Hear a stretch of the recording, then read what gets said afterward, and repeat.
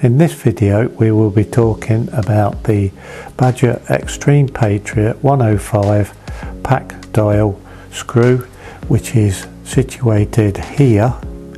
It comes as standard with the PAC dial hole plug so the airbrush can be used as standard out of the box or you can fit the pack dial adjusting screw which also comes with the airbrush.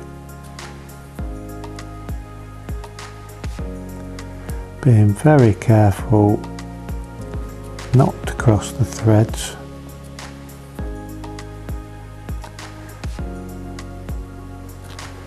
To adjust the air pressure on the airbrush we simply turn the dial to lower the air pressure or unscrew it which then lets more air pressure through.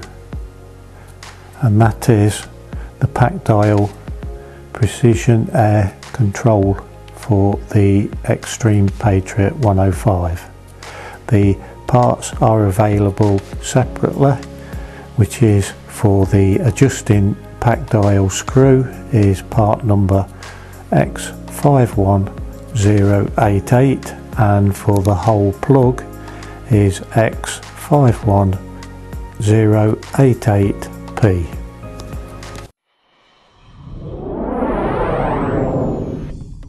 If you found this video helpful, please give it a thumbs up, subscribe to our channel, turn notifications on so you don't miss future content.